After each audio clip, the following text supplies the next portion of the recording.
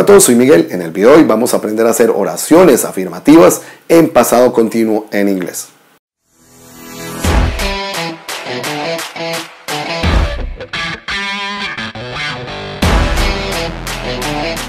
El pasado continuo es una forma verbal que utilizamos para hacer mención de cosas que estábamos realizando en algún punto del pasado. Funciona igual que en español y la estructura que vamos a utilizar para hacer estas afirmaciones en pasado continuo en inglés es la siguiente. Primero ponemos el sujeto, después vamos a poner el verbo to be en su forma del pasado, que como ya sabemos es was o were, dependiendo del sujeto que lo esté conjugando. Después el verbo que acompaña al verbo to be en forma gerundio y al final el complemento.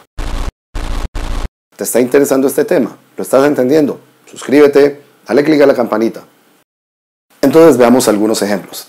I was dancing with you. Yo estaba bailando contigo. You were jumping with them. Tú estabas saltando con ellos. He was smoking a cigar.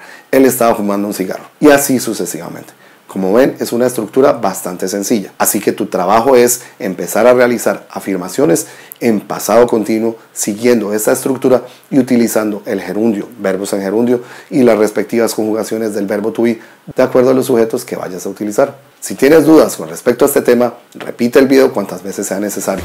Y si las dudas persisten, déjame un comentario. Estaré respondiendo en el menor tiempo posible. Si te ha gustado este video, recuerda darle like y compartir con tus amigos. Y si aún no lo has hecho, suscríbete, dale click a la campanita para estar al día con los contenidos y de paso apoyar mi trabajo. Te agradezco por el tiempo que has dedicado para ver este video. Nos vemos pronto. Chao.